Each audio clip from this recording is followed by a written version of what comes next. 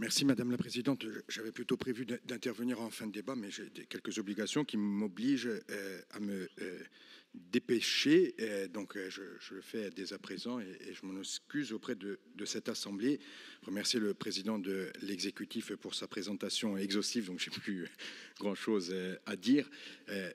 mais quand même euh, souligner, alors tout d'abord saluer euh, la direction, Monsieur Giuseppe et Monsieur André, vous, dire à quel point vous avez toute euh, ma confiance et saluer l'ensemble à travers vous des 40 à peu près salariés qui œuvrent au quotidien pour cette entreprise, cette société et plus largement, j'ai plaisir à le dire, pour la Corse. dire c'est important même si le président de l'exécutif l'a plus qu'esquissé, mais rappeler que cette société en 2015, lorsque nous euh, accédons aux responsabilités, est au bord du gouffre. Est au bord du gouffre avec euh, toutes euh, des dizaines d'emplois qui sont menacés. Et c'est bien parce qu'il y a eu une décision politique avec un, une euh, réorientation des euh, activités de, la CITEC et une, décision politique qui a conduit à une nouvelle gestion. Et je voudrais saluer très amicalement et chaleureusement euh, Rosa Prosperi à ce niveau-là de, mon intervention. C'est un travail acharné de la direction des salariés, une décision politique au préalable de la majorité précédente qui a permis aujourd'hui de nous retrouver sur un rapport d'activité 2022 qui a été voté en 2023 par le, à la majorité, à l'unanimité par le conseil d'administration de la CITEC. C'était juste avant l'été, donc le temps d'inscrire pour euh, les formalités administratives. Nous nous retrouvons aujourd'hui, on essaiera de faire mieux euh, la prochaine fois. Mais vous dire qu'on passe de 2016 avec une entreprise qui est au bord du gouffre, avec des dizaines d'emplois menacés, à une entreprise qui, en 2022, a affiché le meilleur résultat net depuis sa création en 1986. Donc on dit souvent, et, sans doute de bon droit, euh, lorsque les choses euh, vont mal, mais je crois euh, aussi qu'il faut vraiment insister quand les choses vont bien. Et ça a été un, un redressement et c'est une activité industrielle à l'échelle de la Corse et même au-delà qui est proprement remarquable. dire aussi que euh, tous les rapports aujourd'hui font parfaitement sens parce qu'il y a par capillarité, j'anticipe un peu sur les autres rapports, il y a par capillarité le fibrage euh, de l'ensemble euh, des foyers de Corse pour la fibre. Il y a l'alimentation avec un, nouveau cap qui va multiplier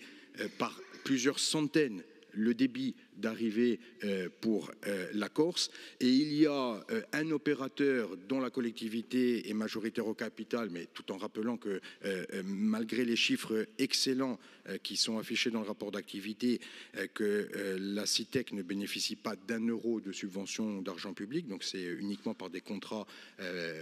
privés qu'elle fait fonctionner, fructifier son activité. Dire que tout ça converge vers quelque chose qu'on appelle la souveraineté numérique. Donc là, on n'est même plus dans le débat sur l'autonomie. Excusez-moi d'employer le terme de souveraineté pour ceux qui seraient choqués, mais c'est le, terme qui est consacré euh, par euh, euh, dans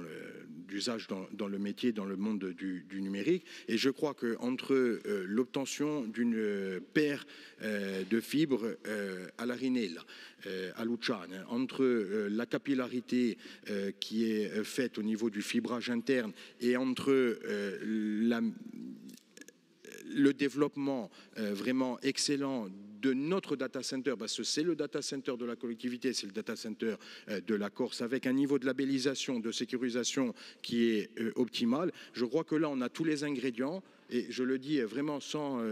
flagornerie à, l'égard de, de, la majorité territoriale et des choix qui ont été faits, mais on a une compétence là qui est exercée par l'exécutif et, plus globalement par la collectivité de Corse qui est exercée de manière exemplaire, avec un projet politique, avec des décisions politiques qui sont prises, avec des exercices budgétaires qui sont tout à fait vertueux et des investissements qui sont tout à fait vertueux. Et je m'arrêterai là, je ne serai pas plus long,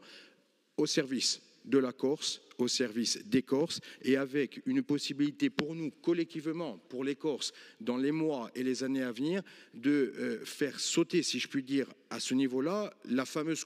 contrainte que représenterait l'insularité. Parce qu'avec la multiplication par plusieurs centaines du débit du réseau qui va alimenter la Corse, sa sécurisation, un regard bienveillant aussi sur une future DSP. Donc ça veut dire que là, il y a toujours la puissance publique qui agit et qui peut agir sur les prix. Avec l'équipement interne et avec nos data centers à travers euh, la CITEC, euh, là, je crois véritablement qu'on assiste, même si on ne le voit pas encore, à une révolution numérique en Corse, qu'on est même peut-être précurseur à bien des égards, et que c'est exactement la Corse que l'on veut, et à travers euh, la CITEC, excusez-moi de le vendre ainsi, mais la Corse qui travaille, la Corse avec une jeunesse compétente, avec une jeunesse formée, et donc moi, c'est avec une grande fierté, véritablement, que j'assure la présidence du conseil d'administration de la CITEC, mais que ces quatre rapports que vous nous présentez font euh, tout à fait sens pour la Corse de demain, pour la Corse autonome que nous voulons, pour la Corse souveraine et pour une souveraineté numérique assurée durablement. Je vous remercie.